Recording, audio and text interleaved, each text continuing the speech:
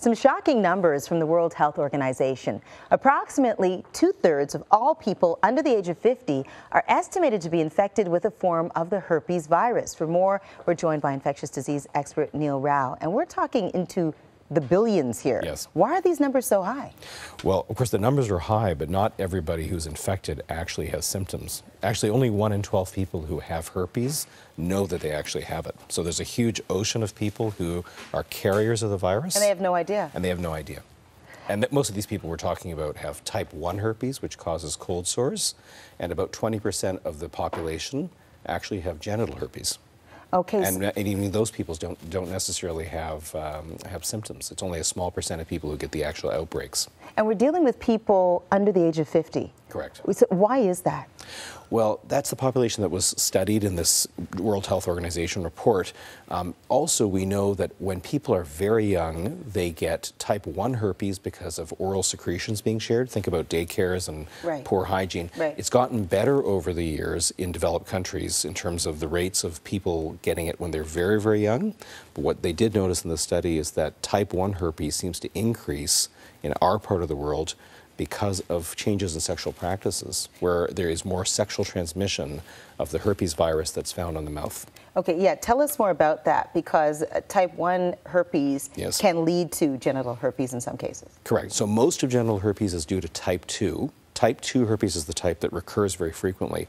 Type 1 herpes typically causes cold sores, but because people are now having a sexual uh, practice change as they get older and are practicing oral sex more than they used to. So think Bill Clinton, we'll say a little, no more than that for a breakfast show.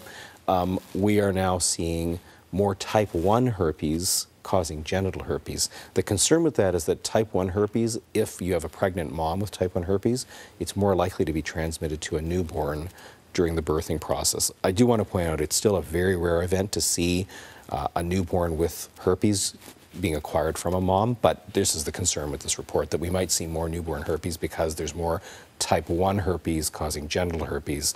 A pregnant mom unwittingly passes it to the baby. And the fact is, once you have herpes, you have herpes for life. Herpes is with you forever. So that's why there are so many people who are infected. But when we say infected, it doesn't mean they actually have symptoms. It's a, it's a type of virus which once you get it, you don't actually clear it. It goes into a dormant state. Most people have no symptoms. Some of them reactivate once in a blue moon. Some people don't reactivate, but they shed the virus from time to time, and that's how they pass it to a new partner. Treatment options? Treatment options, if you have really bad outbreaks, there are antiviral medications. They haven't changed over the past 20 years.